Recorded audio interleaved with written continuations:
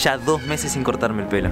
Buena gente, ¿cómo andan? ¿Todo bien? Espero que anden muy bien. Hoy en este video vamos a estar hablando acerca de fotos y videos hechos con el celular. Todo lo que vieron recién estaba filmado con el iPhone que estuve filmando el otro video también. La última vez yo había dicho que no conocía objetivos buenos para nuestro celular porque no había probado ninguno. Así que la gente de Sandmark me envió este 16 milímetros este angular para probarlos y darle una honesta review de qué me parece y si ustedes deberían tenerlo en su celular o no. Hoy vamos a estar hablando de algunos tips para fotos y para videos hechos con el celular. Si vos no viste todavía las 5 claves de phone filmmaking, el video anterior, te dejo acá para que lo vayas a ver. Y hoy vamos a estar yendo para el centro a probar para ver si este objetivo vale la pena o no. Ustedes todavía se estarán preguntando por qué un angular, por qué yo necesito un angular si ya tengo una cámara en el celular y demás, o sea, ¿qué me estaría aportando? El objetivo angular tiene como función mostrar una perspectiva mucho más amplia del entorno. No es lo mismo que estemos filmando con el objetivo de siempre del celular, que se ve con cierta distancia focal, a que nosotros cambiemos por un gran angular de más o menos 16 milímetros como es este lente. Bueno, y el tip número uno es buscar perspectivas. La vista de nosotros, cuando estamos mirando el ambiente, la ciudad, en este caso, siempre nos acostumbramos a ver de una forma. Nuestra vista mira aproximadamente como si fuera un 50 milímetros, pero cuando lo miramos con un angular, que podría ser un 16 milímetros, la perspectiva cambia completamente. Entonces, hay que empezar ya a pensar cómo angular y cómo podríamos llegar a hacer nuestras composiciones con un objetivo angular. El tip número 2 es limpiar el objetivo. Esto parece algo súper, súper estúpido. Encima, creo que en todos los lugares te lo enseñan, pero es algo que es muy importante veo que mucha gente tiene ese error. ¿Por qué es tan importante limpiar el objetivo? Porque muchas veces no nos damos cuenta directamente del celular, hay sol, no nos damos cuenta que está un poco de la grasitud de las manos o lo que sea en el celular y lo que nos provoca es algo muy raro en las luces altas, sobre todo cuando es de noche o cuando hay luces. Es como un efecto medio borroso, con un flare no muy lindo. Y la verdad es que por eso siempre tengo algo para limpiar el objetivo, ya sea de la cámara o del celular, rápido y estamos listos para seguir filmando.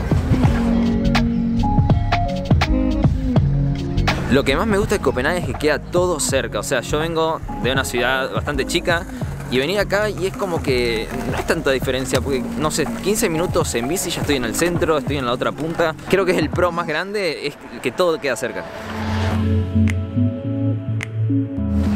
El otro tip que te voy a dar es buscar diferentes ángulos. No es lo mismo tener todo el tiempo el plano aburrido a la altura de los ojos o a la altura que tenemos el celular acá, que buscar diferentes planos, buscar reflejos, meternos abajo, intentar encontrar las perspectivas de diferentes lugares y diferentes ángulos de cámara para que no sea la toma de siempre desde pecho y nada más. Por ejemplo, acá lo que me gusta hacer mucho, sobre todo en Europa, es el reflejo del agua. Pongo el celular dado vuelta y saco ese reflejo que nos da, que también lo uso para video. La verdad que está buenísimo.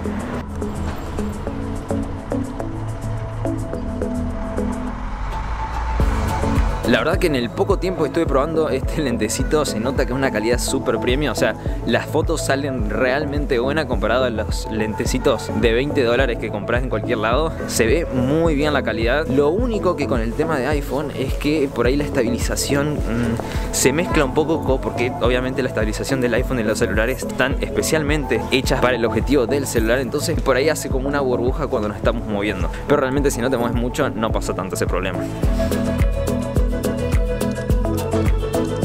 Y el siguiente tip es evitar los flares directos. La verdad es que en el momento personalmente que me doy cuenta que no es una cámara profesional es cuando aparecen los flares de frente a la cámara. Y ahí se nota que es un celular y por ahí puede llegar a perder ese tinte de calidad que puede llegar a tener una DSRL.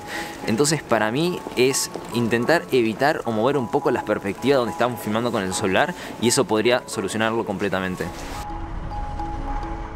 La verdad es que está esto muy bueno, no, encuentro el punto para quejarme realmente. Me di cuenta que necesito un angular en mi celular porque es alucinante, o sea, tanto para foto y para video, el angular es, es todo, o sea, por lo menos para mi estilo y lo que yo hago, me funciona perfecto. Pero bueno, vamos a sacar unas fotos y les voy a mostrar las fotos que estuve sacando en este recorrido.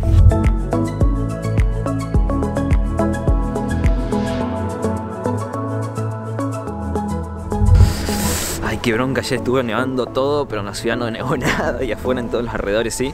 Y lo único que nos queda de nieve son la nieve que traen los autos que vienen desde afuera y nos dejan esto, ¿eh? Posible lo único de nieve que vamos a ver por este mes y el que viene.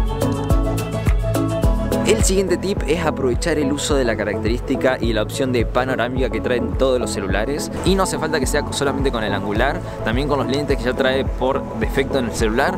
Y lo bueno es que no solamente vamos a agarrar todo ese plano, sino que podemos agarrar un poco de lo que nos falta y generarle este efecto de pez, ya estamos usando este angular y que entre mucha más imagen en el plano.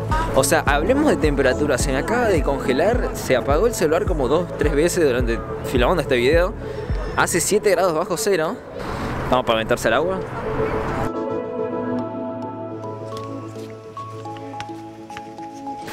Así que bueno, Gastón, ¿cuál es el veredicto final? ¿Realmente vale la pena comprar un objetivo como este?